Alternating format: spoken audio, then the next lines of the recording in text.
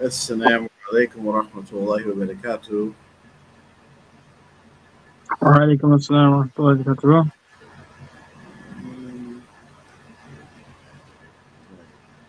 Uh, Alhamdulillah. Alhamdulillah. Salatu wassalamu ala Rasulullah wa ala alihi wa ashabihi ajma'in. Amma ba'd. Assalamu alaikum, everybody. Welcome to another installment of the R2F show. Um, we have myself, um, Mubarak, myself, Jaffer, James Griffin, and Mubarak Johnson. And we will be joined soon by Amr, inshallah. He's probably uh, still uh, waking up or catching up. But um, we're not going to waste too much time with uh, pleasantries because we're going to jump right into, and we're going to be covering this for weeks because um, we we didn't realize what kind of uh, gold mine we had here with all these contradictions, shirk, and Islamic issues in this infamous black book that is one of the it's like the first book that Mubarak wrote that a lot of people uh, followed in TMOA, a lot of the founding fathers and founding mothers, with a lot of Islamic concepts, or not Islamic concepts, uh, deviant Islamic concepts that um, are still held by many members and ex-members till today. Um, just real quick, uh, at the bottom of the screen, you will see ways to contact us. You can email us at emailr2f at gmail.com. We also just opened up a WhatsApp group that um, there's a link there at the bottom where you can just come in the group and you can contact myself, Mubarak, or um, Amr if you have any questions, if you want to debate us, you want to refute us, you want to correct us, show topics, whatever. Just click the link and go ahead and chat in there. Everything's confidential. Um, so that's that. Uh, what else do we have? Assalamu alaikum. And so let me see if I could share the book because we covered last week, we covered a portion, we- covered the editor's notes and we covered the contradictions that came up in the editor's notes. Uh, this week, we are going to cover the introduction of the book. Let me see if I could just go ahead and um, share that. Like this, share.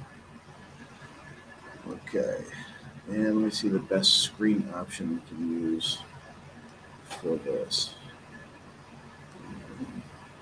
That doesn't look good. Let's just stick with that one right there. And if I could zoom in a little bit. Okay, I think that'll work. All right, if there's if anybody has any problems reading it, um, just just let us know. Let me pull up my notes real quick. So we can get started. And again, if you have any observations, any questions, shoot them in the chat. Tonight we are live on YouTube, we are live on Facebook, and we are live on Twitter. Um, so if you have a chat, just go ahead and throw it in the chat. Any observations, any questions, put them in the chat.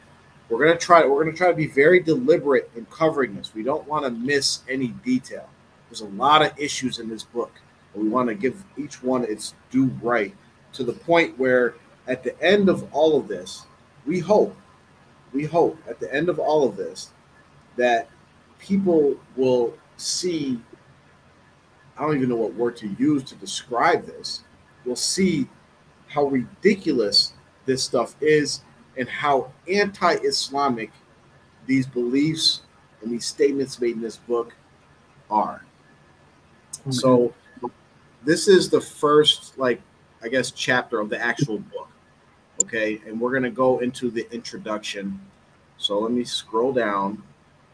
So, uh, Sheikh, Sheikh uh, Jafar, uh, before we get started, I really want to uh, just mention this hadith first, um, just Oh because yes, forgot. Mhm. to uh, no, it's okay. Uh, just so that we can have a kind of a, uh, a anchor, so that we can anchor to something, right? As we're going through it, and we'll try to bring a hadith. Um, you know, we thought about going just going through the book, but I feel like we we have to bring a hadith at least one to anchor to because this book goes in so many different directions, and so we'll mention this hadith so that we can so we can remind ourselves of um, how Rasulullah speaks, uh, what the religion of Islam is based on, and how we and how different from Islam and the sources of Islam that this book is. So Yes. this is in this book. Uh, Um, it's not just in this book, but um, the 40 hadith of Imam Nawawi.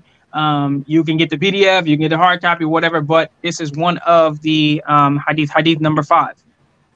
And so, um, what I say?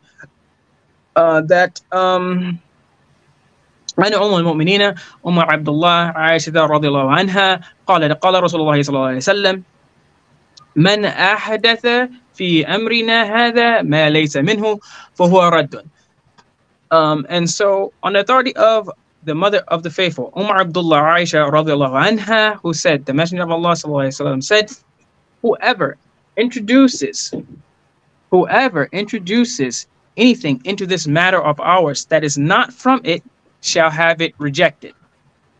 And this is in Sahih Bukhari and Muslim, as well as other authentic uh, compilations of a hadith. So, uh, first things first, this hadith, as we mentioned, is in Sahih Bukhari. You can check it. It's in Sahih Muslim.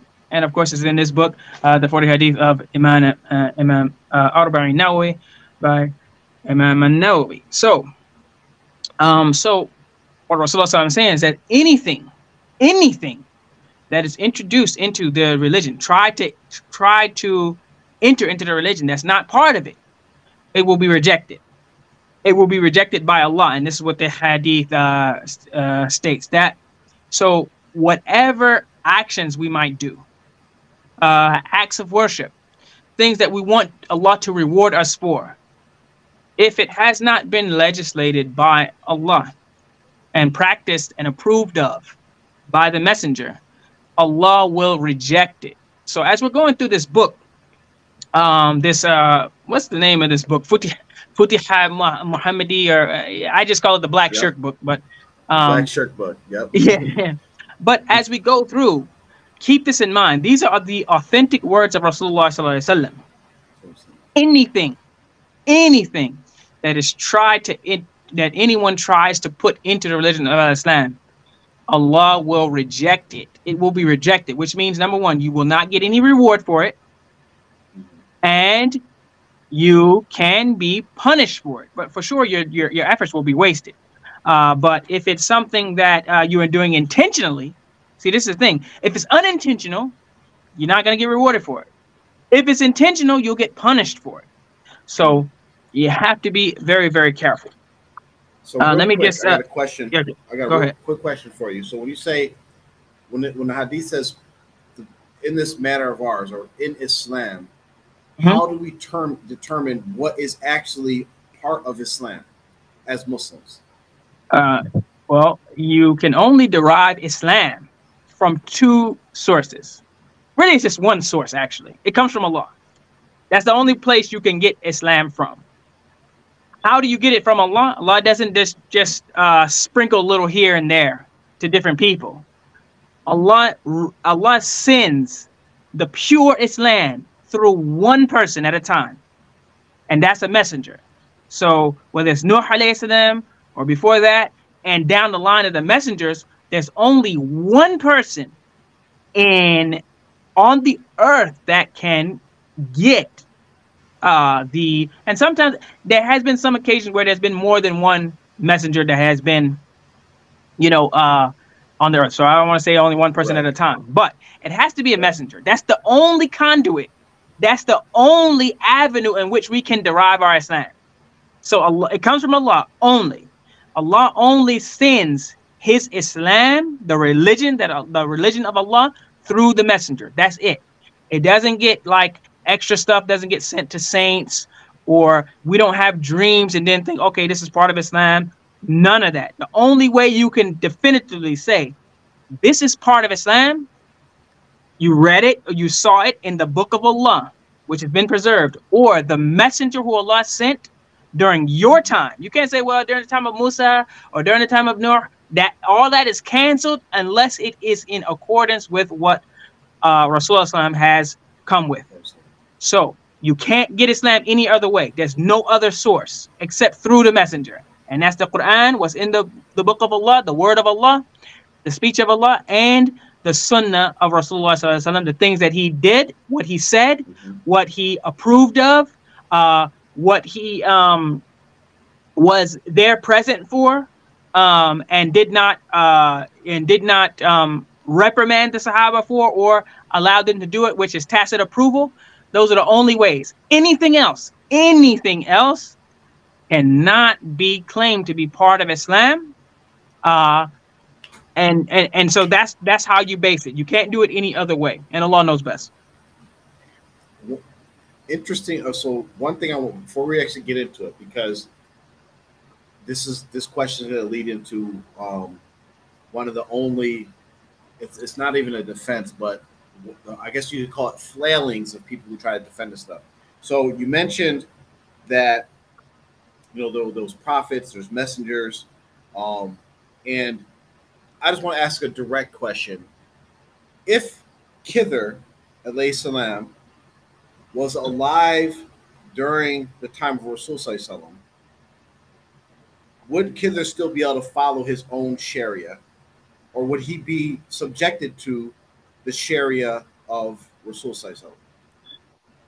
Well, um, first thing first, Allah knows best for sure, but we know that Rasulullah said in an authentic hadith that if Musa were alive today, and Rasul I'm talking about in his time, that he would have no choice but to follow me. As in, if Musa was alive or any other the messengers were alive, they would have to follow Rasulullah. So, if we look at that hadith, um, then we can say that uh, Khadr alayhi salam, as people say Khidr, okay, um, but Khadr would have to have, he would fall under the same category as Musa because uh, Khadr was not necessarily above Musa as far as rankings of the messengers of the of the prophets. And uh Khidr was a he was a prophet. He, he wasn't just some yeah. some they want to say just a saint or something. He was a prophet. Okay uh, mm-hmm. but he had some knowledge that was different. And and that hadith the authentic hadith in the tafsir of that uh, because for some reason people like to mention the story of Musa and Khidr but they never go into the tafsir and look at it. And yep. so Khidr salam actually says to Musa you have some knowledge that I don't have. And I have some knowledge that you don't have but our knowledge all put together is insignificant compared to the knowledge of Allah. So mm-hmm uh, Khidr was was operating in in a different, you know, um, on a different mission, on a different plane, doing some different stuff than Musa salam was. But we know that Rasulullah when he's on the scene, okay, there is no other uh there there is no other avenue except through him, even if you're a messenger. So Rasulullah explained that clearly. So if we look at that hadith, I think it is safe to say that even if Khadr salam was alive during the time of Rasulullah or alive right now, he would be bound 100% by the Sharia that was completed during the time, during the lifetime of Rasulullah. And of course, Allah knows best. Okay, so let's get right into it. So this this is the first like chapter. They call it book one, or Mubarak Jilani calls it book one, the life of life.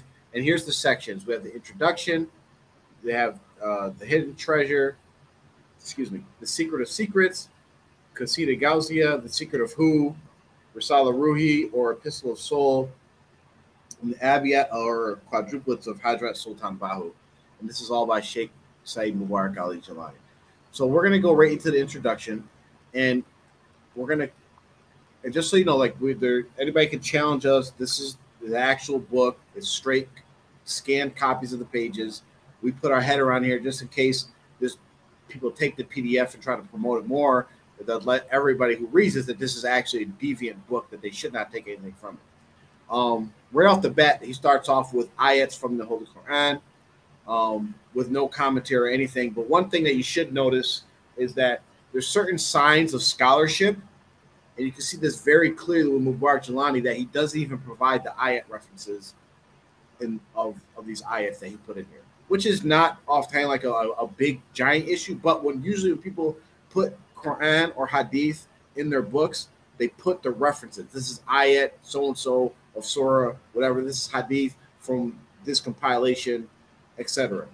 Okay, so that's the first part. We get right to page five, okay, and this is page five, and I don't have the program where I can highlight stuff, so you guys have to just read through it, and you're not going to have time to, to read the whole thing. Um, but we're going to cover just a few things. And the first thing I wanted to, to point out, and this is going to come into play um, later on when we're talking about the Risala Ruhi. So this first sentence, Allah says, Allah, thou art, or not Allah, Mubarak says, Allah, thou art the king, and none other than thou art worthy of worship. Thou art my master. Okay, that that word master is very key, and the fact that Mubarak Jilani in his writing, as he should, is anything that is referring to Allah, he is capitalizing. Allah, thou, king, thou, master, thy.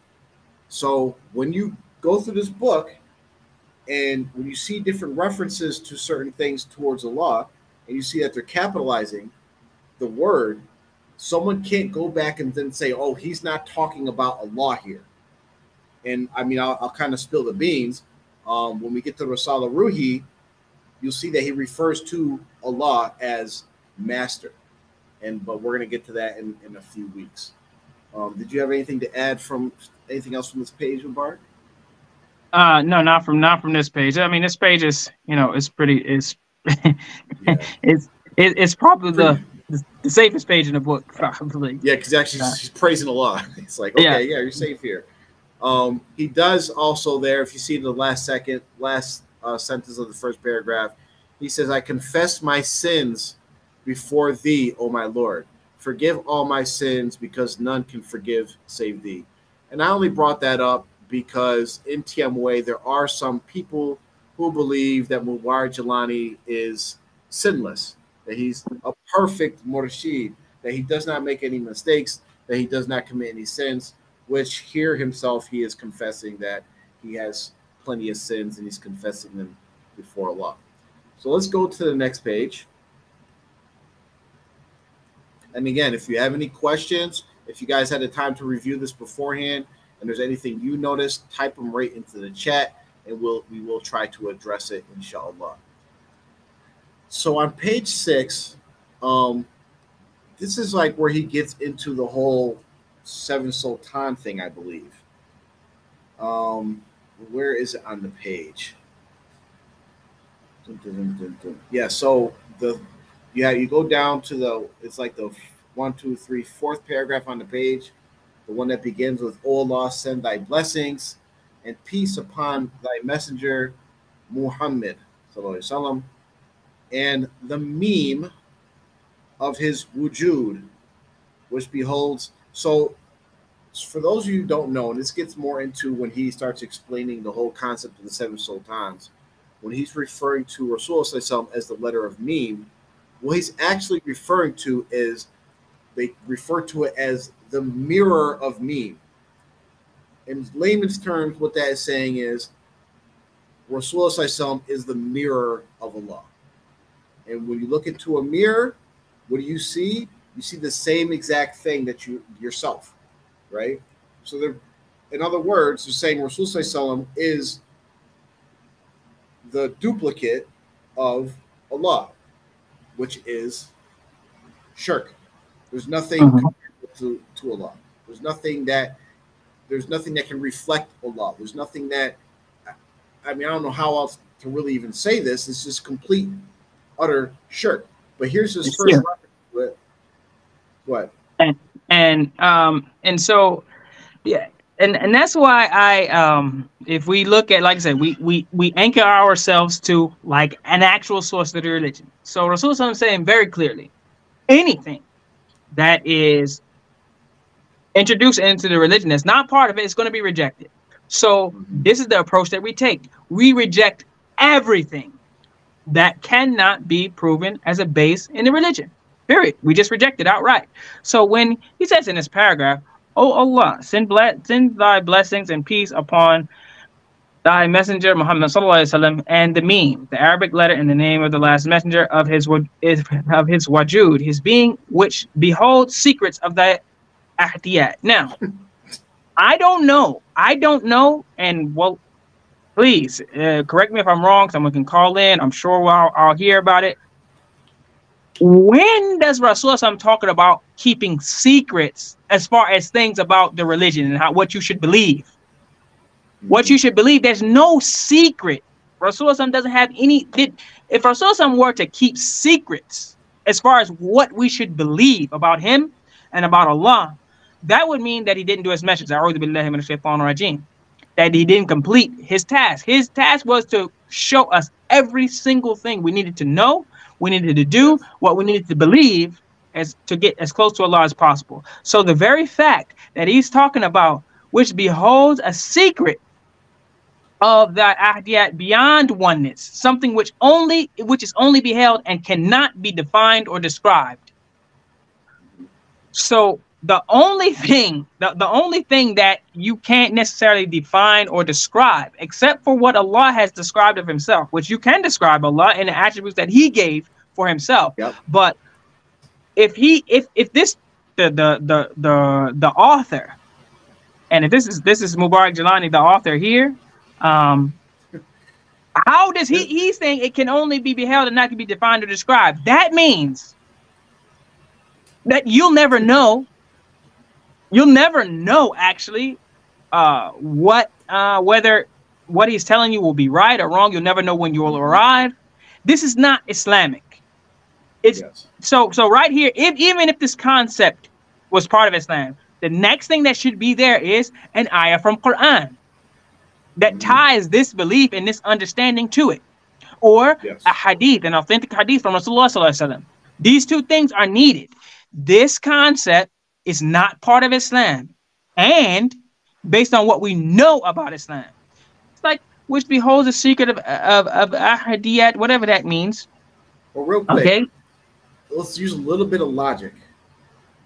Just not like it's not even logic. Let's use a little bit of math. Mubarak, what is beyond oneness?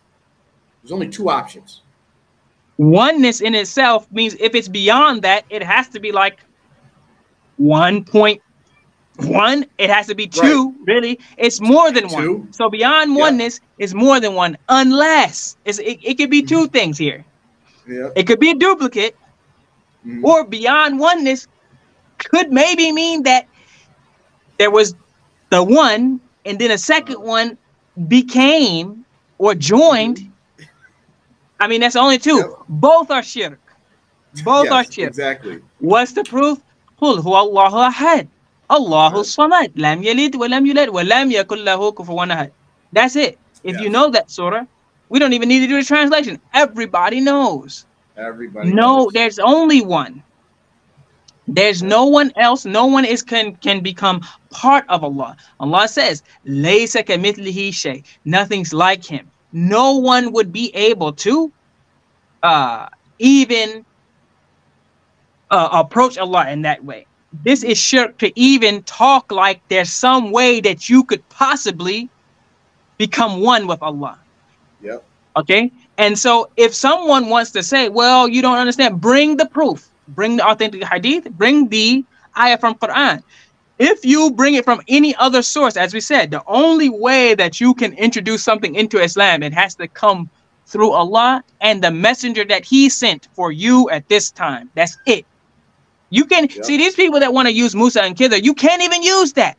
You can't even use that as a, and it, it, it doesn't support them in any way, but you can't even use it because Musa and uh, and and Khidr that that was a a a an, an event that Quran detailed, but Rasulullah has laid out everything that we should believe and what we should do in our actions and everything that's halal, haram, everything is there.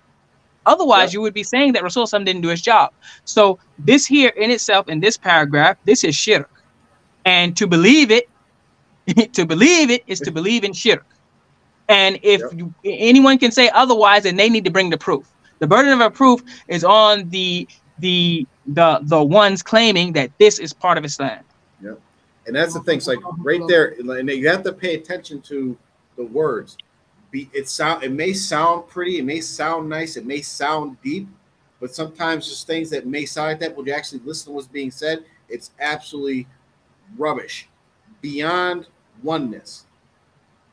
Like when I said, it's either multiple or you become part of that one single thing, which means we're talking about Allah. Either you become Allah, or there's multiple Allahs, or the other option is there's no Allah. So you're either an atheist or a mushrik if you believe that there's something beyond oneness when it comes to Allah. Very, very simple. And it's funny because, like, my father, who was not a learned man, Muslim, used to make make salat in English. So from a young kid, I'm hearing my father make salat in English, and this is the surah he would say every single time in salat in English. Say Allah is one.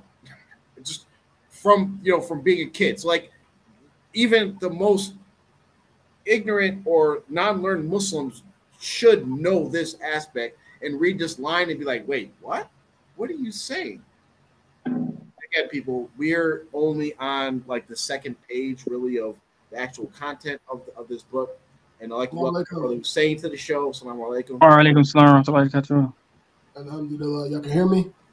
Yep. Yes, sir. Yes, sir. Man, this joint been acting up. It was acting up last week. Alhamdulillah. All right, yeah, I just, uh, yeah, I I think truthfully that some of this information that we're talking about, I think it's going to go over a lot of people's heads. So, what I think we need to do, truthfully, is just back up a little bit and just kind of come at it from like an ABC type of perspective because all of these fancy words, fakir and this and that, and you know, all this type of stuff, you know, if you think about it back in the day, I can imagine a lot of um, of our fathers, you know, forefathers being enamored with all of this, you know, I, I guess hocus pocus type of wording, fancy wording, yeah. and all of this type of stuff, and just kind of just falling in love with this whole bit of mess. Let's just be mm-hmm. honest, bit of mess. Mm-hmm. Um, my wife actually asked me uh, earlier. She was like, you know, how you know, well, how do you know the book is, you know, it's it's not really authentic and you know, blah blah blah. And I was just like, because we grew up. We just kind of grew. real talk. We just grew up. Yeah. You know, when we were kids, all of this stuff, it was just kind of like a fantasy fairy tale type of vibe, and everyone's kind of still holding on to that. You know what I'm saying? A lot of people. This mm-hmm. book is trash. Like, like, no, I'm serious. Just, it's trash. Yeah. Just from a simple, some simplistic analyst analyzing of the book, it's literally just trash, and it's a bunch of little fancy words and stuff where people can kind of get lost. And just like you said, Mubarak, they can play games. You don't know if you don't know what's what, where something starts, where something begins. It's so gray and ambiguous to where you know people can just flow and make up a bunch of stuff all in between all of this.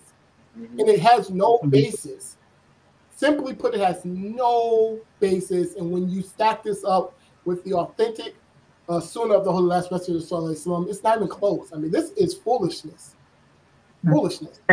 And, like and even on top like of that, I, I, would I would say that for the people who uh, will listen to this that were at one time they were Christian, right?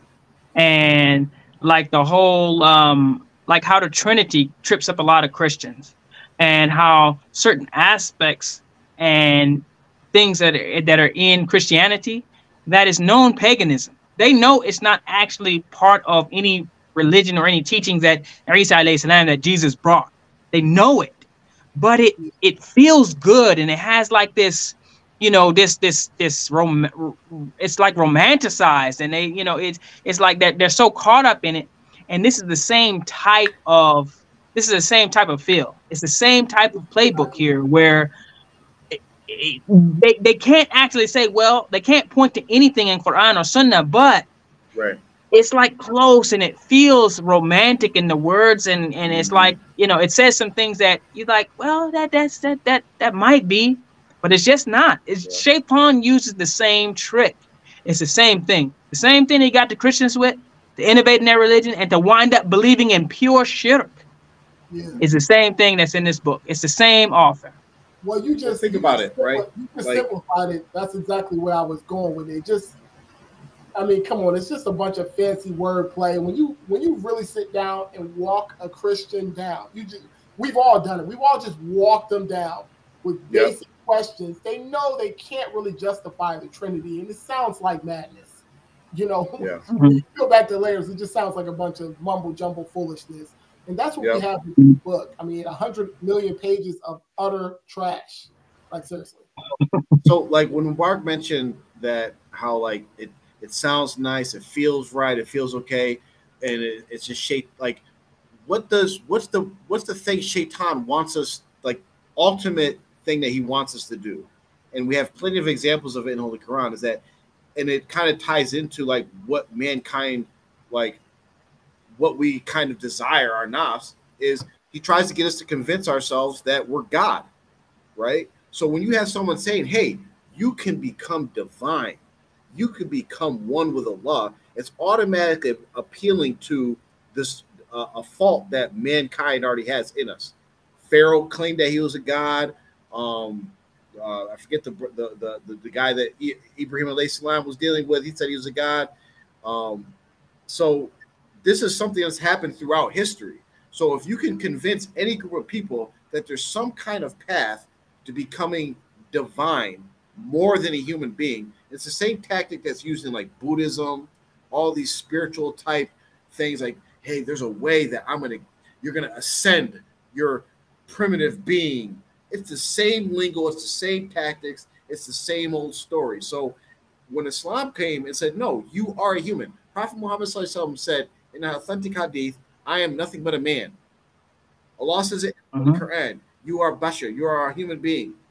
You so and I've had a, it was I've had a one couple of of the things that during the time of the pagans, it's actually in the Quran. They were like, Why didn't you send us like an angel or something else to guide us?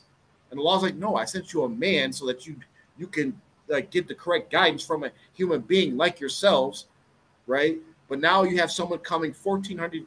I mean, it's, it's nothing new, but another person along the chain of people have done the same thing 1400 years later and saying, you know what? You could become more than a man. It's bull crap. Well, Crap. uh. I've spoken to a, a couple of older brothers, and I'm literally not joking. I don't want to be funny or nothing. I'm I'm trying to be serious, but they were dead serious. They was arguing me down. It was they was literally getting furious and saying that Mubarak Gilani was more than a man, and they were not joking. They were not playing. They were absolutely serious. I mean, they was getting hot to where I realized, okay, they, they, they- this is serious for them. Let me back up Yeah. off of it because I was telling them that no, he's just a man, just relax. And they were getting very upset that I was actually referring to Mubarak Gilani as an actual human being, and they were not playing at all. And that's the problem. It Mhm. all goes back to this this the crux of TMOA belief. And this is why we've been harping on it for years now. This this shirkish belief that people say, well, they're just they're, you know they're they're Muslim and just be good and let them go on. It's like no, these people have these false beliefs ingrained at the foundational level of their Islam, and it Mhm. causes so many problems going forward. Yeah, you're making salat. Yeah, you know how to make a wudu. Yeah, you know how to do all these like, you know, other things in Islam that apparently everything's Islamic, but then you have this root belief in yourself that's in this book, that's in this concept of seven sultans, that actually these things take you outside of the fold of Islam. and the, and it, it is so dangerous. I mean, it's it's so dangerous um, to for for for this book and books like it and the beliefs that this book is based on because it will it it will waste everything that you do. Your salah, your fasting, everything that you do, all the good deeds that you do. If you have the wrong belief, it will be rejected. Your good deeds will be rejected because your concept, your understanding. I mean, if you're if you are here doing actual ibadat, right? You're you're praying, you're fasting, and in your mind you think that the divinity that's for Allah alone, Allah's oneness, someone has a share in that. And you're actually, can you imagine you're praying and you're actually, you know, and, and there's been there's been there's been statements where people said they put a picture of Mubarak Jilani in front of them when they pray and different things like that. I mean, so can you imagine? You know, you're doing that, and then you you're you're meeting Allah. It's going to be rejected. Of course, it's going to be rejected. Just think logically. Yeah. I mean, yeah. that's why, you know, I mean, that's like you saying, "Oh yeah, I, I made this specially for you," and it has someone else's name embroidered on it or something like that. It's like you're gonna be like, "Hey, I'm not wearing that." You, you know, it's it's like that. You're you're you, you can't even feel a human being with that, so you're not gonna fool Allah. But the main thing is is that you really have to look as we go through this book, and we're gonna continue on, but gotta understand there are no, I mean, absolutely zero secrets in Islam. Nothing is a secret. If anyone tells you, oh, this is a secret, they're lying. This is from Shaitan. Rasulullah's whole job was to make it as clear as possible, give you everything you could possibly need. As soon as the word secret with a and that has to do with beliefs or some actions that you can do, it is a charlatan. It's a liar. It's coming from Shaitan. They're trying to trick you because oh, only I got this. I or or if they tell you, or if they tell you, you won't be able to, as the, as the book says, you won't be able uh understand it unless you behold it. What is this? basically, it's like it, it's basically you're telling you to just believe in this. You won't be able to understand it. You won't be able to rationalize it. You won't be able to even know whether or not you're on the right track or not unless you behold it. When will you behold it? The reader doesn't know, the writer doesn't know, no one knows. How are you even reading any further than this page in this book? I want and and let's think about this too. Let's think about this for a second, because this was held as the holy grail of books within the community, right? Yeah. And if we just kind of take a step back, we can understand that our forefathers, our fathers, when they were reading this book, they were younger than us. They, they may have been younger than us. So they were yeah, yeah, they were. They were. They were quite impressionable. You feel what I'm saying? Uh, they mm-hmm. enamored by this guy, and they must have read this book and really clung on to it. Really clung on to this belief and idea that they can fly and do all these different things and mold with the law, blend with you know Rasulullah Islam and all these different things that they probably thought that they could do. Then they pass this information on to to the children, us. You know what I'm saying? And mm-hmm. we, we kind of grew up like, you know, we heard about the book, you know, we was forbidden to read the book without permission or all this other stuff was going to happen. But just think about that. Our fathers read the, these books. They believed in Mubarak Gilani. They really thought he was that guy. They thought he could fly and do all these special things. They took all of this information in for real, like seriously talking about. And now they're really still holding on to this. They're holding on to this, and they will not relinquish it, no matter no matter how foolish this book is, no matter how much it you know it contradicts the Holy Last Messenger Sallallahu It contradicts the law. They're holding on to this, and they're trying any way possible to try to make it make sense. When I challenged my father with this book, alhamdulillah, he just he just submitted, surrendered, and just admitted that he was just on the Kool-Aid. He didn't put up no resistance. Alhamdulillah, I came in there with my my my sword, my shield. I was ready for battle, and we was about to duke it out about this book. Alhamdulillah, he just admitted and humbled himself and just was like, "Yo, saying I was, you know, he said whatever he said. We had a talk, and I, that made me respect my father and appreciate him more. You feel what I'm saying? Because at the end of the day, we're all human beings. We're gonna make mistakes. Things happen, but you you try to grow and you try to learn from that. You don't just keep on holding on to this foolishness. No, seriously, a lot of these older brothers who was teaching this book, believed all this foolishness, was teaching this crap in the um, retreats and all that stuff. They owe everyone a big, massive apology, and it takes courage to actually do yes. that. Courage. Mm-hmm. Yeah, yeah. So one comment and, we and, have real quick is um that uh mentioned that guess guess the first five lines of page six. Guess who else proclaims this? Shiite, Qadiani, other Sufi orders, etc. And they add extra and that's a good point to make is that you know just there's all types of groups claim the same exact thing but as muslims as sunni muslims the criteria all falls back to is this in the holy quran? Is this in the sunnah of rasul very simple. And if it's not then you and, run away. and when you look at all these whether it's qadiani uh, shia um, this uh, Mubarak Gilani, uh, TMY, Goofy Sufi, all of these groups that add a little spice, little extra, these stuff that's not part of Islam, it's all for political or financial or some other type of gain. It's mm-hmm. always the behind it because listen, Islam like you ain't gonna get rich and make money. I mean, you could be wealthy, but you got to do it on your own merit. True Islam, practicing it, preaching it, giving it to other people, you're not gonna get rich. You're not gonna get rich off of it. You're yeah. not gonna become powerful and about it. The only way really you can you can do that is by you know fighting in jihad, maybe conquering lands and countries in the name of Allah. You know, yeah. but as far as you just being a you just being a preacher, I ain't no. You're gonna be poor. but if you can have something exclusive, if you can have something exclusive and you get yep. followers and people like you throwing sprinkling money on you and stuff like that, like what they do, yep. then that's where it comes from. But before we move on, on this page, I just want to make it very, very clear. On this thing where it says that, you know, that Rasulullah, the Arabic letter being a meme and, and of his wajud, and which beholds a secret of the ahdiyat beyond oneness, something which is only beheld and cannot be defined or described. Anyone who has this book and believes that anything in this book is true, this statement right here, you have to prove it to be part of Islam with some source. Otherwise, otherwise, you're just negligent. You don't care. You're worse than a Christian because this is what the Christians do. When you tell them where's this at in the Bible, they, uh, you know, so and so said, or the preacher said, or you know, you know, hey, listen, everything is not in the Bible.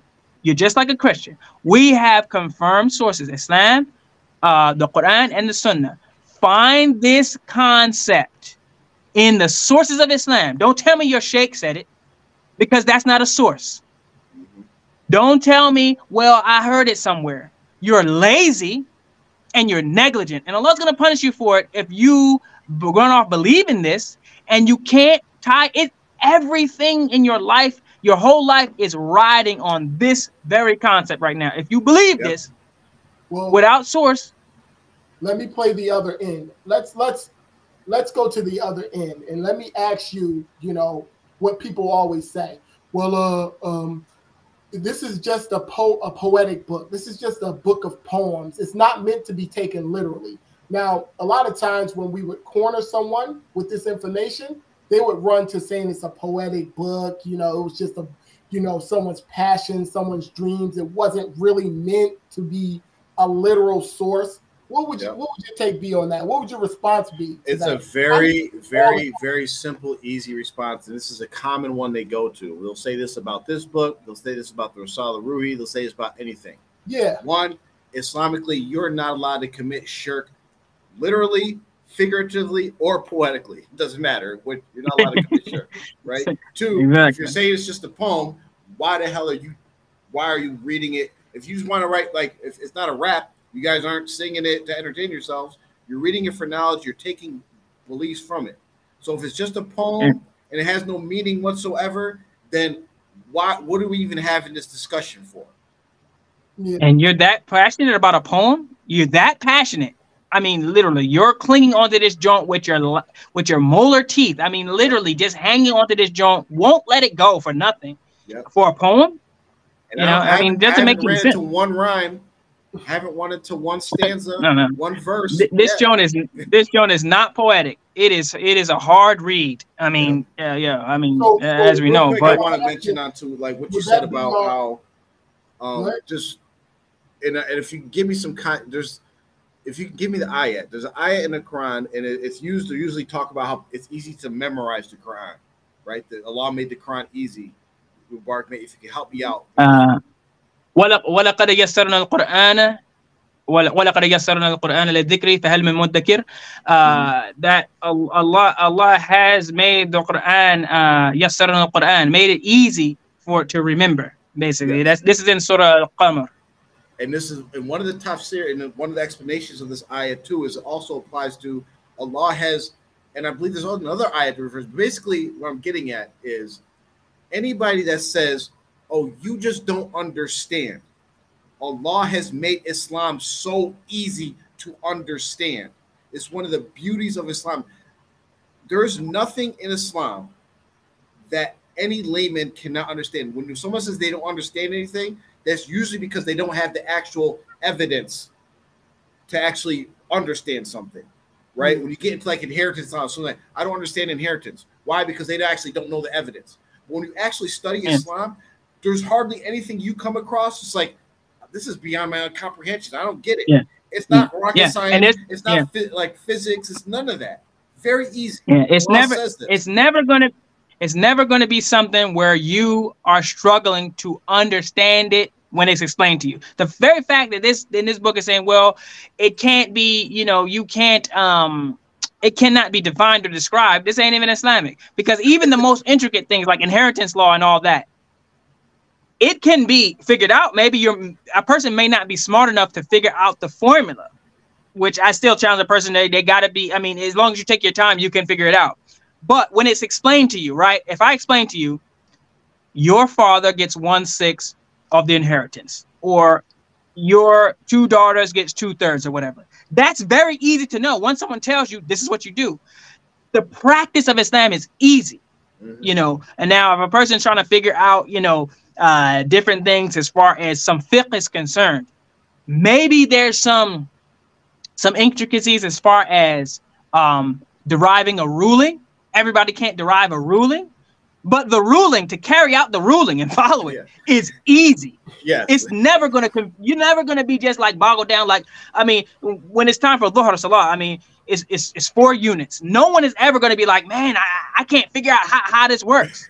Nah Yes. maybe the maybe your first time Right. but islam is easy like that across the board it's it, it's not hard to figure out it is not hard to practice uh, and as far as to know what to practice and how to practice there's nothing confusing or secretive about it Alhamdulillah. Shukran, uh, Jawad. Uh, you put that information in here that we was trying to get out. Yeah.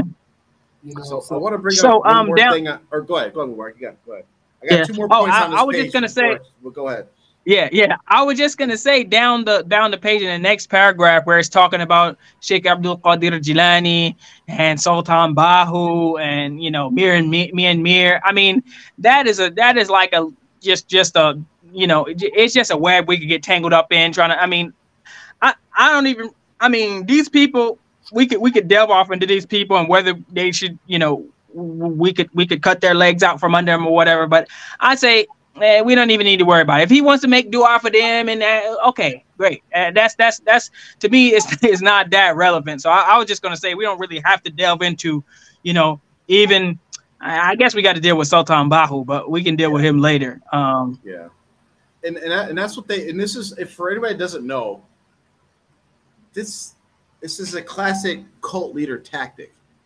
You attach yourself to some to, people that, that in the past that hold high regard. Sultan Bahu did the same thing with the whole Sultan concept. He tried to attach himself to Fatima radiallahu anha, Hassan Basri, Sheikh Abdul Qadir Jilani, Imam Ali, Khalifa Ali. Like you attach yourselves, you say these names, and then automatically it's just like a psychological point. It's like people start attaching you with those names.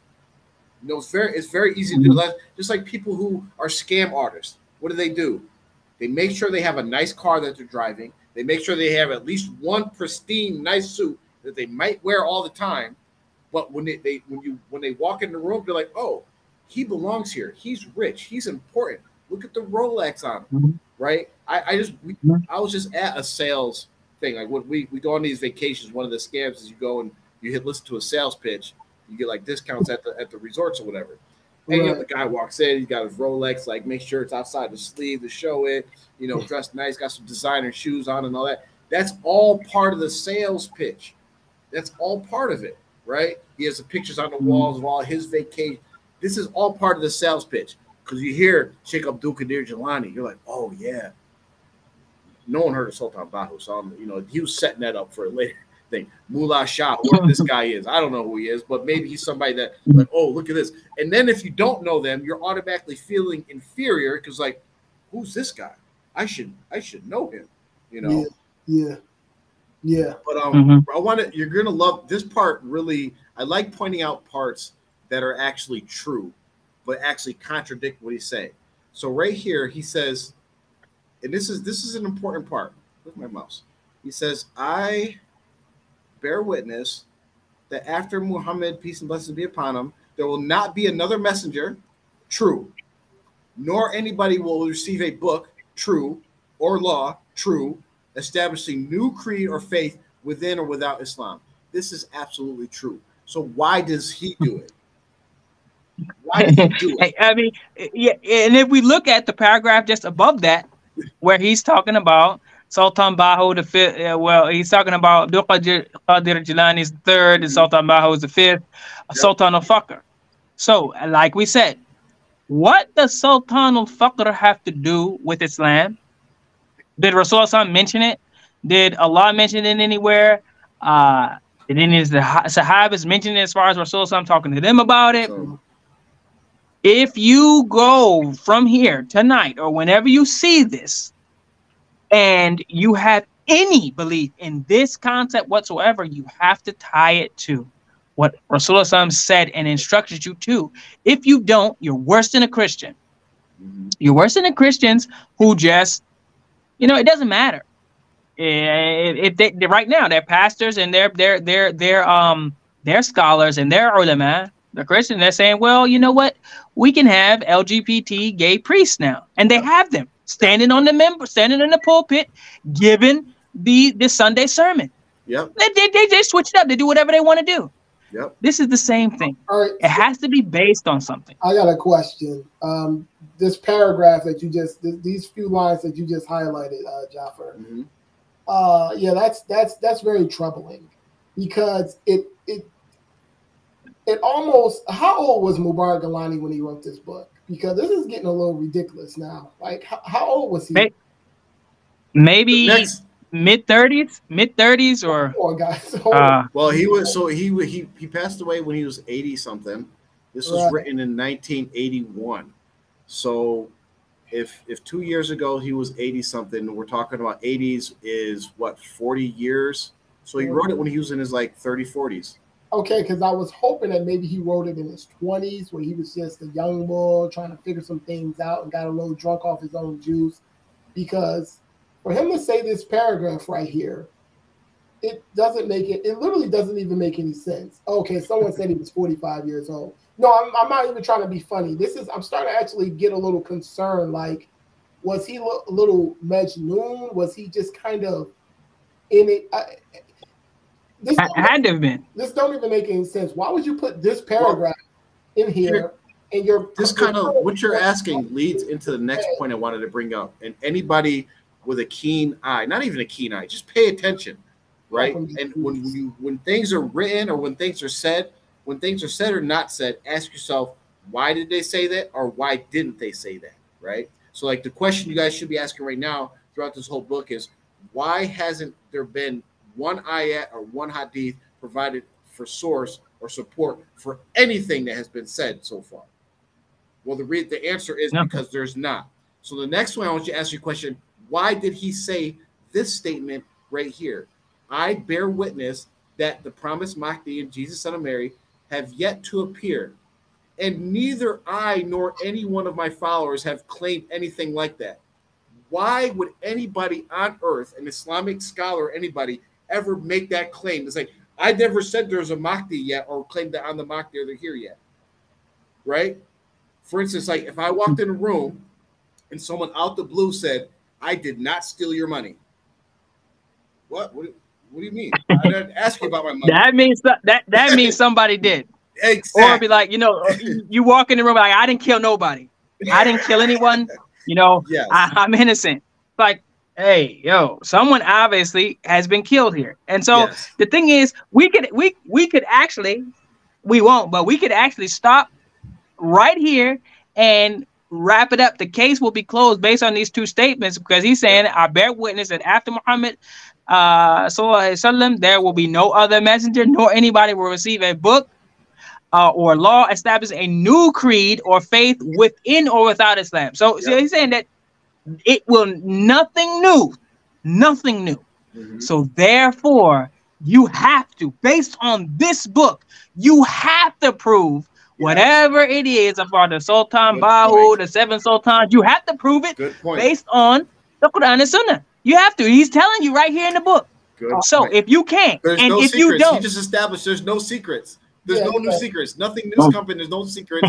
He just, by your own sheikh's words, he puts you on the hole that y'all cannot, you cannot even use Musa, Musa Khidr anymore. You cannot use secrets. You cannot Yeah. use lack of understanding. Now he has put you on the hole that you actually have to provide proof in the Quran and Sunnah I'm gonna go because out- nothing new is coming. okay, I'm gonna go out on a limb here and just try to see if I can piece this whole thing together. Because I was trying to, you, know, we we've been trying to read the book recently to just be up to speed. It's been a, I'm talking about tough read. I'm, it's been a hard read. But what I'm getting is after we're kind of just breaking this thing down, what I'm kind of coming to the understanding of, I think maybe Mubarak Gilani was having like a real spiritual struggle while he was writing this book like because he's saying certain things that is accurate is true and then it seems like you know one of the you know the the uh Shayantees or something gets a hold of him the next day and then he you know he wrangles him up a little bit and then he just starts jotting off some crazy paragraphs because it doesn't Well, this seems it's not that. It It's not that. It's not that because here I'm going to point out all of this is manipulation. So if we go back to the actual true statement he said, right, it's to set up something. You have to look at the subtleties. And we, so he says, "I bear witness that after Muhammad Sallallahu Alaihi Wasallam, there will not be another messenger nor anybody will receive a book or law establishing a new creed or faith within or without Islam." The key words that he put in here that he wanted to implant in people is a book or law. What is law in Islam? Sharia. What is the common Mhm. common defense of the Sufi stuff? This has nothing to do with Sharia. This is tasawwuf. He's establishing in their minds, like basically, there's yeah, there's no new law coming, right? But the stuff I'm going to talk about is going to deal with tasawwuf, spiritualism, but law is something different, right? Because right after this, he goes right into what does he talk about? Ilham, inspiration to the saints and the Sufis and all these different. He goes right into it. That was all set up to let them know, like, what I'm saying is legit because I'm not talking about Sharia. I'm not saying I got a new Quran. I'm not saying I'm a new messenger. Where I'm not claiming to be the Mahdi. I'm not claiming to be um, Isa alayhi salam, right? I'm basically claiming I am a saint that I got ilham. That's the whole. and, and on top of that, and on top of that, um, he also because he's Pakistani, the little you know in, in Pakistan, I believe the uh, Qadianis are um, they're declared to be kufr, yes, like the the the, the Qadianis. So it, it- like like so like as far as the state is concerned, they're like these people ain't Muslim. Yeah. Uh, and so that's one thing. The the Qadianis say that there's a messenger after Rasulullah. sallallahu alaihi wasallam yes, and they have some weird things. So he's so this is also him establishing that I ain't no Qadiani either. He's trying Yeah. to because back then in 1981, the Qadianis probably was getting fired up. They were probably was. Yeah. I'm, I'm pretty sure uh, that they was like they they could not openly uh, claim and talk about their beliefs. So correct. that's another thing. Also, where he's saying that uh, he's bearing witness that um, uh, uh, Isa bin Maryam has not appeared in the Mahdi and all this because many people, and most of them that I have seen, have been Indian or Pakistani, which is basically the same thing, that have claimed to either be Isa bin Maryam or have claimed to be the Mahdi or claimed to have known both of them or one or both of them. They all been people from Pakistan or the subcontinent somewhere like that. So he's also trying to distance himself from those some of those people because they have been proven to be kind of whack jobs and, and some some nut jobs or whatever. So he's he, mm-hmm. he's not only so and the thing is to Hussein's point about how it seems like he's saying some truth and then going off the red because he's trying to set up a, a, a scam. He's trying to set up a scam, but with Islam. So there's going to be some truth, and so he has to use Islam as the bait, but then slip his little stuff in there as the hook, you know, to to to then get get his little cult started. So that's why it's like some truth and there's some falsehood and truth and falsehood because that's that's what a cult's going to be. That's what that's what a charlatan is going to do. A little bit of truth, get you in, hook you with the falsehood. I have What's another interesting question. is that two question. people after reading this book, I know of two people, hands-on experience. So it's not like hearsay, like hands-on experience. Two people that read this book, after they read the book, they actually claim themselves to be the Mahdi, which make whatever you want out of whatever that's supposed to be. But I know two people that read this book, after they read the book, they were going around telling people that they were the Mahdi.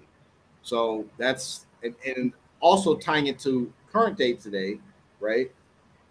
We have Mubarak Jilani himself, 20 about 20 years after writing this book, claiming that he met Imam Mahdi multiple times, right? you have followers claiming that they met Imam Mahdi. You even have some people that in, have claimed that his son, they've announced that his son, Noor, is allegedly the Mahdi. So read this statement again, and now fast forward to today, and it's like, yeah, you you made this claim, but then you still fell into your own trap and you're refuting yourself. So you didn't make that claim 40 years ago, but your followers and yourself are making this claim now, decades later.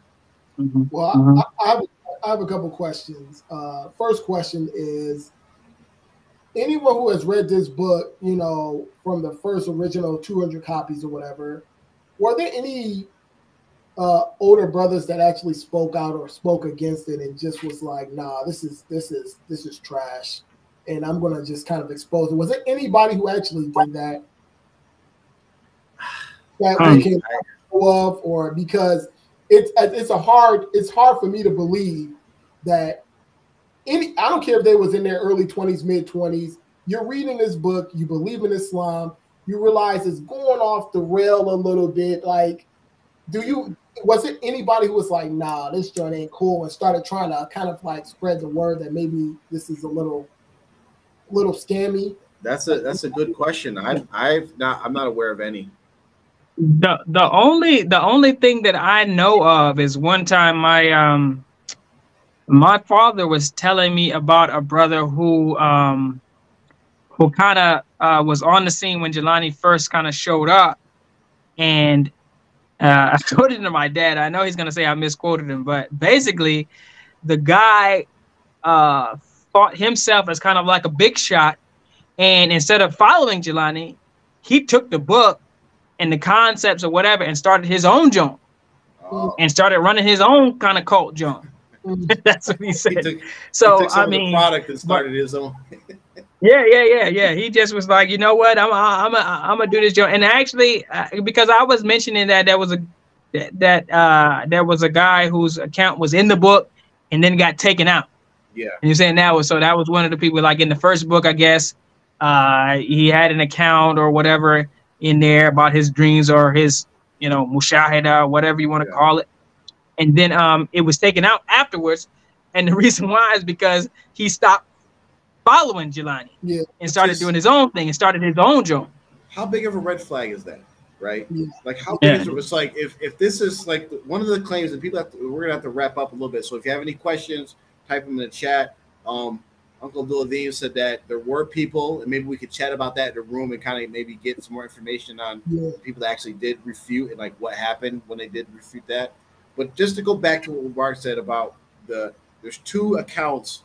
This this book, one of the big sections of the book is um, documentation of these ex, these holy experiences that the followers of Mubarak Jilani allegedly have had, right? They don't they don't call them dreams. They call them mushahadas. Basically, um, miraculous experiences, right? With going to the courts of Rasul seeing Allah, talking to Allah, talking to Rasul et cetera, et cetera. And they and he part of this book is him explaining and justifying how this is actually true, right? This and it basically sums up to like they were receiving ilham, right? Divine inspiration. So if if what these people experienced was true and came from Allah and was divine inspiration, right? You would, no matter what happened to that person afterwards, you would not remove it and say, I don't want people to know about it now, right? Because in a, in a perfect example of this is like, because when something is true, you don't hide it. Because there's plenty of there's there's there's several instances in the Holy Quran where Allah is like chastising Rasul as Muslims, if we were like we wanted to like say we were trying to hide it and we wanted because like we would like oh, let's get rid of any of those ayat that like paint that could possibly paint or some in a negative light. Let's just get rid of those, right? That would be a clear red flag that will like obviously they're trying to hide something. It's not true. Like for instance, like when we're talking to Islamophobes, the stuff they bring up. Oh, he married Aisha. She was nine. We don't hide it. It's in hadiths documented for thousands of years all these different things that we like, oh, wait, we don't want people to find out about that. Let's get rid of it. How many, how many different things can we point to in Islam where we tell the absolute truth because we believe it to be true and it's from Allah and it's going to provide guidance no matter what happened after that? When you have a book that says, "Oh, all this is true," well, you know what? Oh, that guy doesn't believe in me no more. Let's get rid of his account. Yeah. How many? I wonder how many people yeah. of these documentations, and maybe Uncle Abdul and Uncle MJ and any of the older brothers can help us with this. Out of all these narrations in this book, how many of these people today actually still follow Mubarak Jilani? I, I would like to have those numbers and see, like, okay, nine out of these ten of these people don't follow him anymore. Yeah, I would even go as I would go further and say how many people right now even really hang on to this book. Like, how many people would dare to present this book? You know, let's say like at the retreat or something, they start reading out of this book. I don't think it would happen. I think the the cat's out the hat. Uh, um, I actually think too that Mubarak Gilani probably realized that this book was real sketchy, so he started trying to put some little stipulations. Oh, don't don't read it, or you'll you know uh, you'll get possessed, and kind of like spooking yeah. people, or you know saying oh you know uh, um, you need permission. You need to go through a chain to get permission, and this book is so sacred and secret. It, it's only been 50 copies, whatever the copies. I think maybe he was doing that as a way to kind of dissuade people to not actually read the book, honestly, yeah.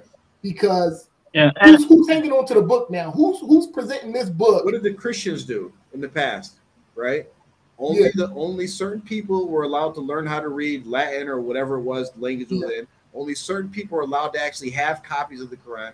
People that are not the Quran, their their Bible or their holy book. If people actually taught people to read, they were burned at the stake if they actually did translate it, they were killed and called upon. So it's the same. It's it's the same template. Hey, listen, you can even run the tag. It's the same template. Even what did they do? And, and like I said, all of these things always run back to money, mm-hmm. power, something else. What's another instance where a group of people were kept from reading or learning? yeah. Oh, maybe our Slaves. ancestors. Yes, the slaves. Why were the slaves kept from reading or learning uh, or being educated so that they wouldn't catch on to the whole rules, the whole setup? They were telling them uh, about Christianity. They were telling them that you know the black people were cursed or whatever, and this is God's way of saving you. All types of things. Yeah. It doesn't matter. Diff- different things they were telling. If a person can't read, a person can't you know uh, read something for themselves, um, then you can tell them anything.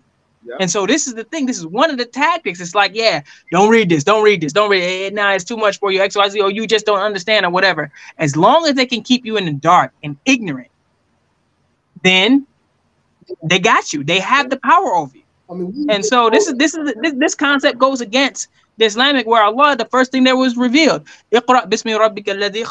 that to, to read and to to, to to to seek the knowledge so that you know, so that you would be empowered. Not to read certain books. We was being instructed to only read select books that Mubarak Gilani was giving people. We were forbidden yeah. to read outside books, you know, outside of what he was prescribing. And even in my early 20s, I thought that was real weird. I'm like, yo, what you mean? yeah. You can only read a couple of yeah. handful full of books that you're prescribing like and, and, even even on that right like so we remember i mentioned last week about the author of the the, the heavenly ornaments or the Bahishti Zewar the one that talks like about the grave worshiping and you know yeah. Mark Jilani praises the author and says you know in in in this book and then you know 40 years later we have his daughter quoting from the book basically speaking out against the practices of TMOA, grave worshiping, and all these different things. Also in the book, it talks about all these criteria of how to find a competent murshid, a competent sheikh, which go directly like if you followed it, nobody in TMOA would follow Mubarak. So Mubarak Jilani first goes and says, read, he gives his book out to people. Read this book. Everything in it is true. You could follow it. Then years later, decades later, he changed and said, no, only read the first volume. The rest don't read. Why? Because the second and third and fourth volumes are all the stuff that refutes him. The first volume is only about like how to make salat and how to make wudu. Yeah. So it's like Like you had, it's the same kind. It's the constant thing. Same thing as the Bible. When the Bible started, like they took out the stuff that had the references about black people being cursed. Why? Mm-hmm. They wanted to keep all these black people being Christians. So let's get rid of that part. Let's retranslate it. Let's change it up. Mm-hmm. And we mm-hmm. know about this with the Bible. They keep changing the words, changing the translations, getting rid of whole sections to make it more appealing to the people so that people don't leave it. So it's, gonna, it's, the same concept. I, I would say this too. The mere fact that he tried to push this book onto, you know, a handful of African Americans just really lends to the idea or notion of how he really thought and felt about those brothers, you know, our fathers. I mean, he must have really thought they were buffoons. I'm just going to just keep it real. He must have thought that they were just stupid, uh, ignorant, buffoonish, and I'm about to just spoon feed y'all this baby food. Y'all just going to eat this baby food, take this baby food, and mm-hmm. that's it. And literally, truth be told, that's literally what happened, and here we are. Yeah. So. And the, and the thing is, it's, it's a couple of things at play though, because um, when you sometimes when you when you when you start doing stuff and it works, you start feeling yourself. Right. So right. he probably was like, let me see if I can do a little because you got to remember, Jilani was part of the other Sufi group, right? And then if you look at it, that joint is is a little. They running the scan. They running their own scan. But then if you look like if you there's a certain type of person, it's always like you know what man. It's just like you just like you you you you working for someone who running a business, right? Yeah. And it's like I'm gonna start my own business. That's yeah. what he did. You know, it's like it's, it's it's just the it's the story of of life basically. He was in a scam called once he realized, man, this joint is kind of a scam. I can do this myself. So yeah. he was going around trying to trying trying to find, you know, a little spy. I already like went to the UK and some other places. But the thing is, he started out, you know, on one tip, but once he started rolling, yeah, he, he just started feeling himself more and more. And and again, this is not this is not a dig to our forefathers or anything like that. It, it really isn't. I mean, you guys was in your early twenties or whatever. You know, things and, happen. And they had the new the new Shahada zeal, like yeah, yeah let's I mean want to soak up everything. So we know what was going on during that time in the '60s anyway, with the whole, you know, uh, the Black Revolution and you know all this type of stuff and we know what was going on. So I feel like they were vulnerable. This is what I honestly think. I feel like they were very vulnerable and just got taken advantage of. The real beef I have, I don't even have beef with that because we all get caught up. We all get caught in the fall, hoodwinked or whatever, you know what I'm saying, or caught up.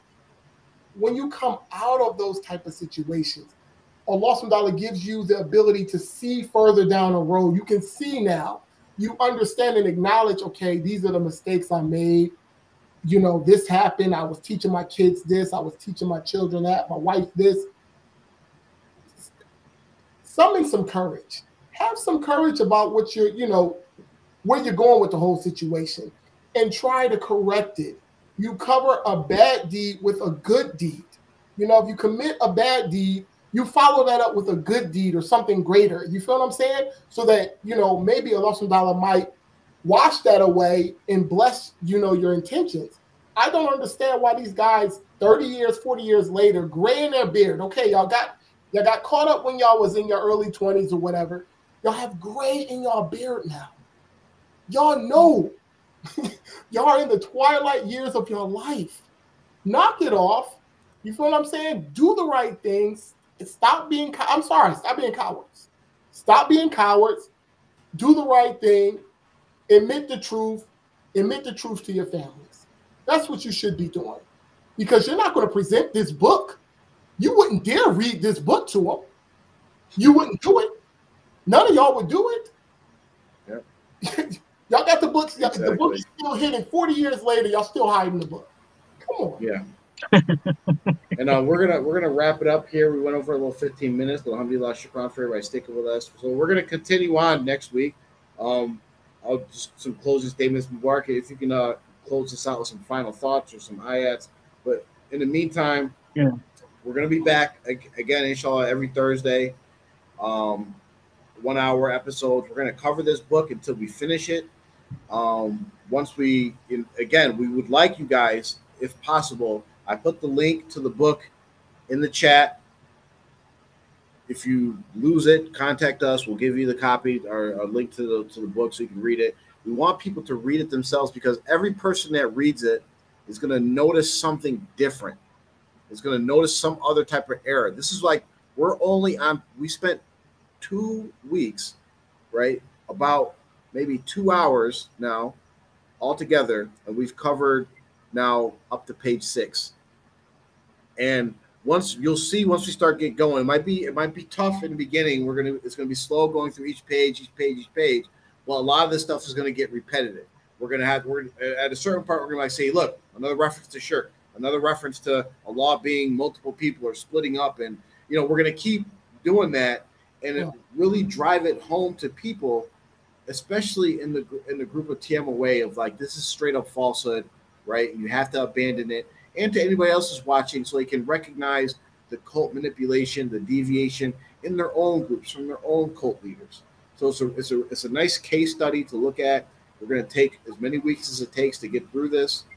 If you have any questions, in in in people in TMOA, like the founding fathers or older heads or whatever, like Brother Mukman, who's on Facebook now rambling or whatever, if you have rebuttals, we will take your rebuttals seriously. We will address them. We will bring them on. We'll we'll present your case exactly how you present your case. Preferably, we would like you to even just come on here and go ahead and defend it if you have if you want to defend it. You want to tell us that we're wrong about something? Feel free to do it. We will put it. We will give everybody the opportunity to say their piece, to defend their beliefs, and we will defend our statements. And if we're wrong about something, we'll admit to everybody that we're wrong. But we would ask you to do the same thing. So don't be afraid. Don't be scared. This is your belief. Defend it.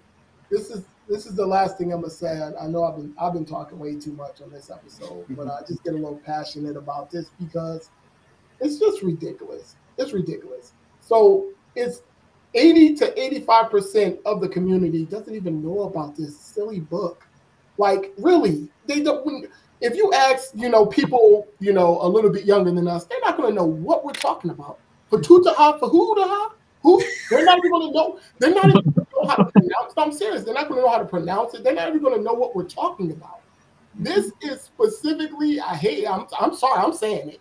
This is specifically for a lot of these old head brothers who poison the communities with this foolishness. This is for y'all. And, this and are still doing it. And still doing it.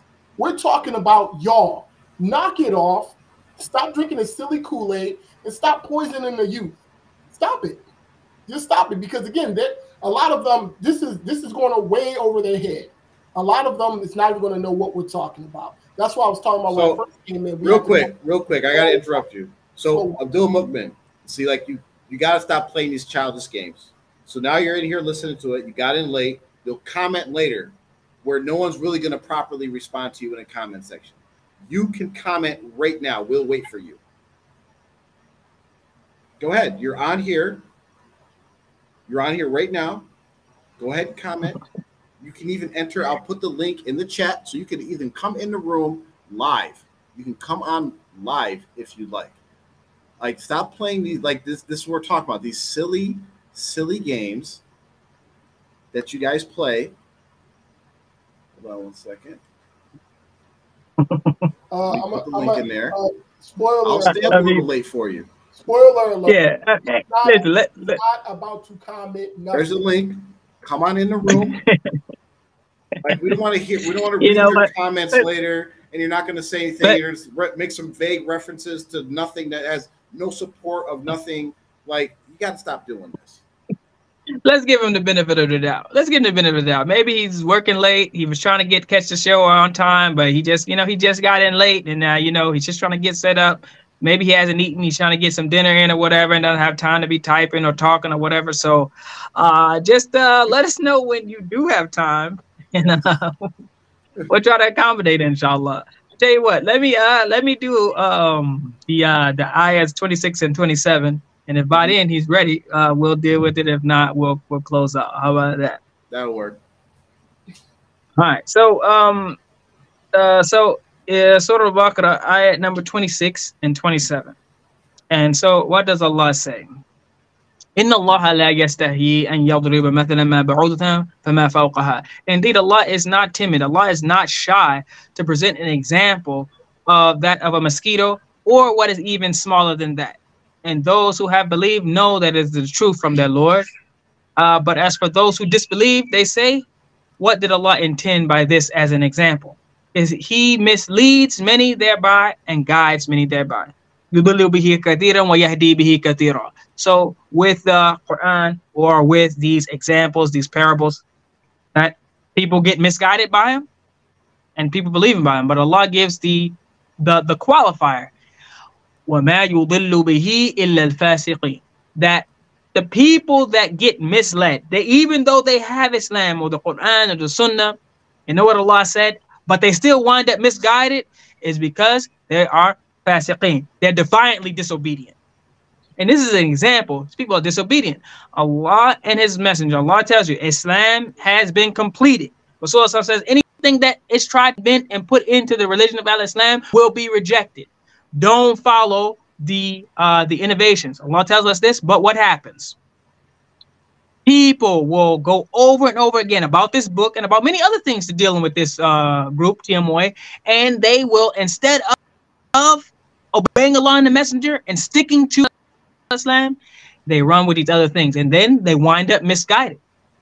Even though they might quote, they, they might, very rarely, they might quote some Quran or a fabricated ahadith or something like that. But in particular, Allah uses the example of a mosquito. But what is a mosquito if we think about it? What does a mosquito do?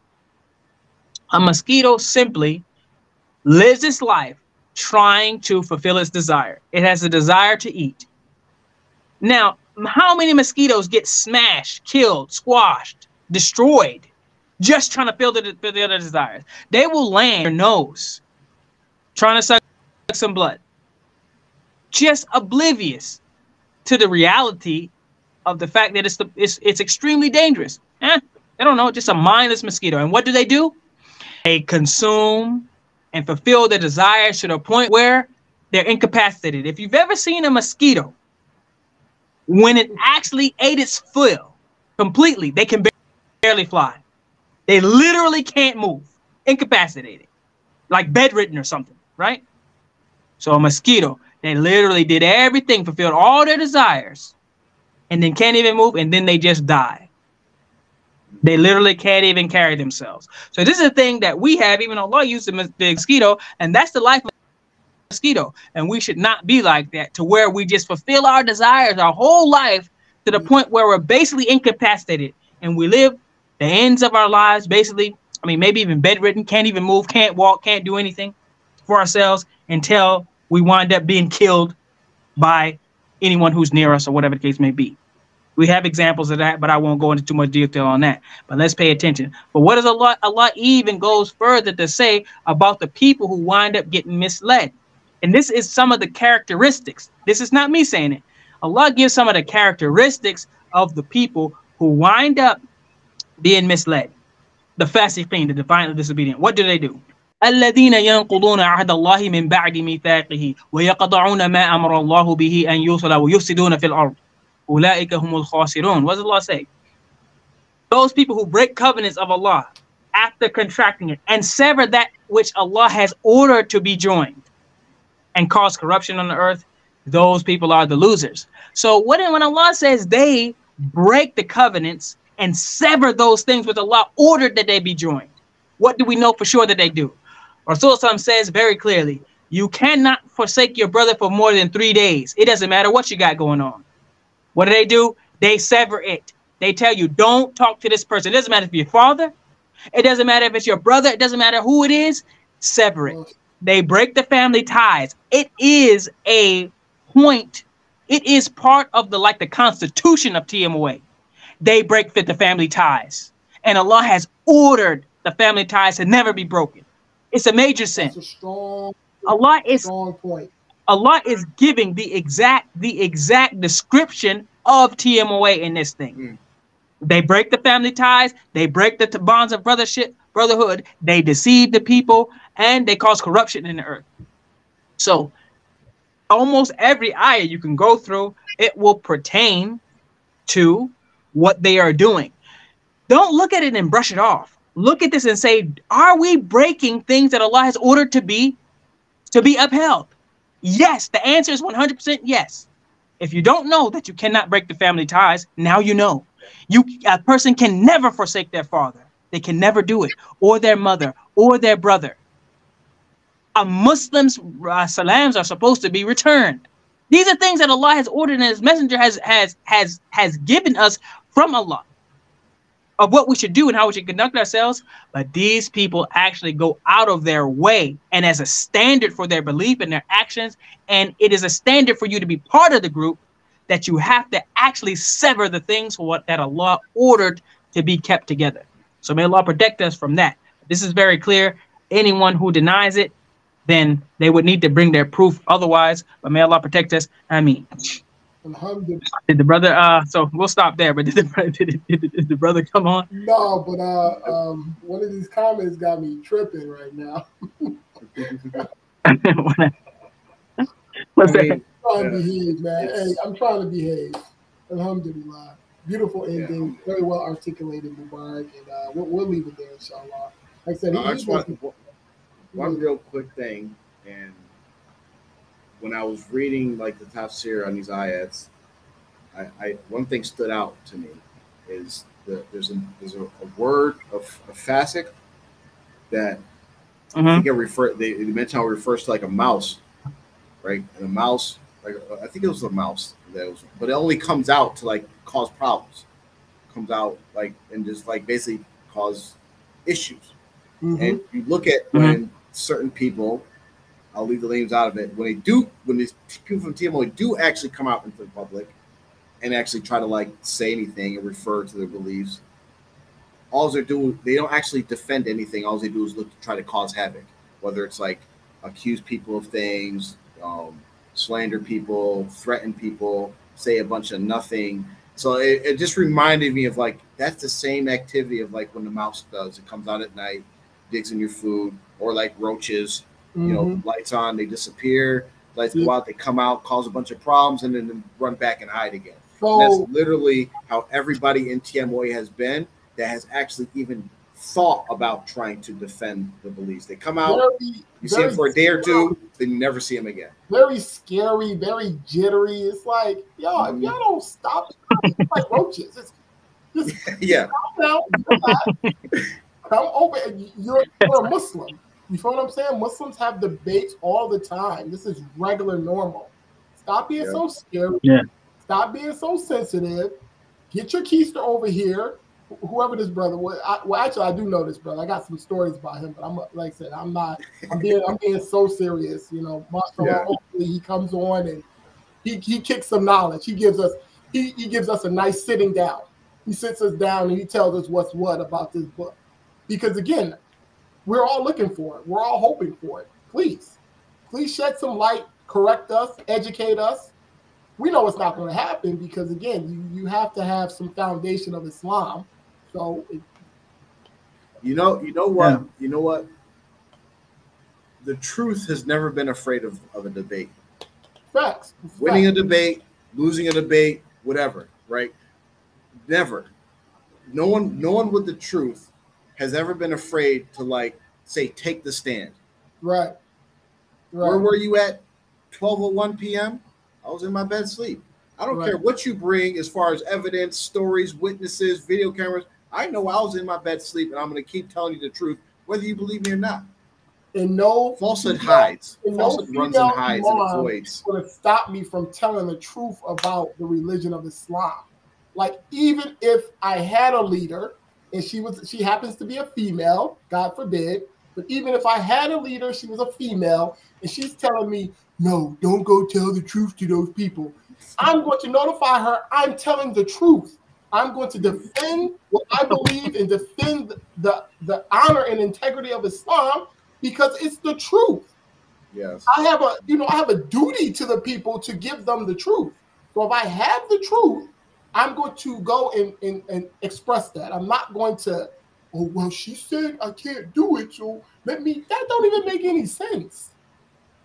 I mean, I mean, look at this. Could, could y'all imagine just like you're dying, you're on your deathbed, and like you already know, I mean, I'm about to meet Allah or whatever, and you literally are dying and you never once said the truth out loud to anybody. You never defended what you believed in. Yeah. You never told the truth that what you believed in might not be true. You're you're taking you're taking things to your grave that could have helped people to realize what the, the guidance or to realize what they were on was falsehood and to correct themselves. You're gonna take that to the grave with you? Really? It's scary. I mean, the the, the, the, the statement of a coward dies a thousand deaths. Mm. You know, I mean, it's you know, sometimes my wife tells me she said she says, you know what, I mean, you know, I, I hear you. She doesn't really know what really, really all the details of what we would be dealing with. She really doesn't even pay attention. But she's like, man, you seem like these people are angry or whatever. Aren't you scared? Aren't you afraid? I'm like, no, no, because guess what? I mean, I'm gonna tell the truth. I'm gonna tell you exactly what I believe, and I can sleep like a baby. I don't need to look over my shoulder. If someone wants to fight and kill me or harm me based on me telling the truth. I mean, all right, you got me. If you get the drop, you got me. Okay. Right. I mean, Then chase your truth. don't try it. You might. You, you, you might. listen. And I like it. It's, we, we, we, we do keep we do protect ourselves. I mean, we don't. We, we ain't, it ain't gonna be easy out. But if you get me, you get me. But I'm I- I'm not walking around scared like oh you know eh, you know if if someone questions my, my my beliefs, I'm gonna tell you what I believe. I don't need to like prep. I don't need to be prepared. I don't need to like because it's the truth. Right. Whatever I know to be the truth, I can say it right now. You can wake me up at 1 a.m. and I can just start saying it. You can catch me at work. You can catch me on the basketball court. You can catch me on the soccer field. It's going to be the same at all times. I don't need to like sneak in at the end of the show and be like, "Hey, oh, I ju- I just, um, just uh, showing up, just you know, to try to act like, yeah, I, yeah, I confronted them dudes." Listen, I mean, just the, the truth is going to actually take care of itself. Yes. But no, we don't need to be scared. But for the cowards, I mean, every day a little piece of you has to die inside Mhm. that you can't even say, "Oh, Mubarak Jilani is the greatest man ever" out loud. You can't even say that. just come on the show and be like, "Mubarak Jilani forever, my murshid, may my murshid live forever." Even if you just said that, I would respect it. I'd be I like, respect mean, them more. I right? respect those Looney Tunes more than these guys are like, yeah, Yeah. you know. it's just- I dare, I mean, it's just I'm daring anybody. I'm talking about anybody to come on this show and say that uh, Um Noor is their imam, their leader. yeah. I mean, that? I, I, I, I would I would respect it. I really would. I, at least at least they're standing on their beliefs, and that's the thing. I mean, if you're gonna stand on what you believe and be able to articulate it, whether you can articulate it well or not, you know, I mean that that's another thing. But if someone comes on here and and and goes toe to toe and explains why this this book or whatever TMOA female imam whatever, it's a truth. I mean, I, I mean, you got it. I mean, and and then what does Allah say? He'll be the one to judge between us on Yawm al Qiyamah, at least. yes. But to literally just hide in your in your your your, your, your trailer, your two bedroom, one bathroom trailer, and just like you know. We're the, you know, we're, we're, we're the, the the top of the food chain, and we're gonna be. And we was being told that. I know I'm going off. Let me just go, say go, this real go, quick, and then. I'll be done we were told at the 2004 retreat that we were going to be running the United States government and that we were going to be like up in the White House and stuff. You remember that? Y'all remember that? I mean, Yes. We were like, yeah, I'm gonna get this state. I'm gonna get that state. we were told some wild stuff and we were believing it. I mean, are these dudes still somewhere in their trailer? I mean, there's nothing wrong with living in a trailer. I lived in a trailer, okay, but I'm just saying, are you still thinking that you're going to be the leader of the of the world? Because Jilani said he's dead now. It did not happen. You're still believing it? And just sneak He was telling you anything. sneak peek. The same things were said to these people in these book, in this that give their narration, Mhm. so allegedly by Allah. And we're supposed to tell them, you are gonna lead Saudi Arabia. Dude's dead. he ain't lead nothing. Still in Saudi Arabia. It's not. It's not Naveed Naveedville or whatever. It's it's Saudi Arabia. It's still Saudi Arabia. It's not TMOA headquarters number two. It's still Saudi Arabia. I mean, yo, just yo, just come out and be like, "I, I, we got got." That's all it is. Seriously, we won't even. I mean, seriously, we won't even rub it in or nothing. Just, I mean, it's it's time. Just, I mean, this Joan is this Joan is well, over, man. Yeah, it's over, uh, man. We'll have weekly segments, and we'll go ahead and continue to um, just dissect this book, and with hopes, inshallah, that some of these older brothers see the errors in their ways and, and realize that they need to correct themselves and they owe a lot of people, you know, a lot of people apology, a sincere, a sincere apology too, you know. So uh, we'll leave it there because y'all about to get me going, man. I'm, I'm really trying. To yeah, yeah. and, let, and let me just say this: this this will be the last thing I say. since I mean, since basically, basically, it is these older brothers.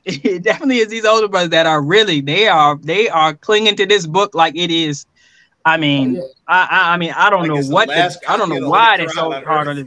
like, yeah, I, yeah, with, like, I mean, it's, it's, Washington. We had like the last five. Yeah, yeah, yeah. Um, yeah, the Book of Eli. Yeah, they treat that Joe like the Book of Eli, man. but seriously, but seriously, yo, since I mean, all these old heads. I mean, what do you have to lose? I mean, uh, I mean, is it because you know, Um Noor is going to kick you out of Jamaat. I mean, what is it? Come on the show. We will do a special show. As many, one, two, ten, however many. We will schedule it and y'all can all just, you know, explain, enlighten us on this book. Because everything that's said is like, oh, we don't understand it. We don't know. We're not doing it right. Or, you know, all right. Let's let's come on, set a time, pick a time. It's an open invitation old head or young head. I don't care who it is. Come on, but specifically for the old heads, I'm, I'm talking to all these, these older brothers that have so much to say about this book. You are cordially invited to come on this show. We will do it any day of the week. I will take off work. We will do it any day of the week. We will sit down and we will discuss this book and try to figure out why it is that we are either misguided about the book or why y'all are misguided about the book. But at the end of the day, what we hope to get to, to arrive at is what is actually part of Islam and clearly point out what isn't about this book. So you're cordially invited. Just let us know. I'm sure we'll have some uh, some comments about it uh, in the near future. But the invitation is open. Alhamdulillah. Let's let's All wrap right. it up, brothers. Let's wrap it All right, so it's on you. Uh, it's it's on you, uh, Mark, to close us out. all right, all right. We'll we'll just uh, recite those two ayahs that we went over earlier, and then we'll just close out, inshallah. So. Um, أعوذ بالله من الشيطان الرجيم بسم الله الرحمن الرحيم إن الله لا يستحيي أن يضرب مثلا ما بعوضة فما فوقها فأما الذين آمنوا فيعلمون أنه الحق من ربهم وأما الذين كفروا فيقولون ماذا أراد الله بهذا مثلا يضل به كثيرا ويهدي به كثيرا وما يضل به إلا الفاسقين. الذين ينقضون عهد الله من بعد ميثاقه ويقطعون ما ويقطعون ما أمر الله به أن يوصل ويفسدون في الأرض. أولئك هم الخاسرون. السلام عليكم ورحمة الله وبركاته.